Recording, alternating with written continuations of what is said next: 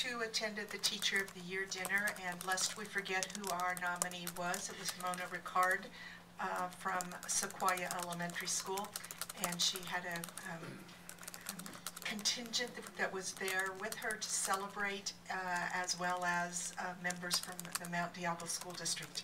And that's what the event is all about, the celebration of exemplary work of teachers. And it's not just the celebration of one individual, but of all their peers, uh, because every teacher um, is exemplary in our district.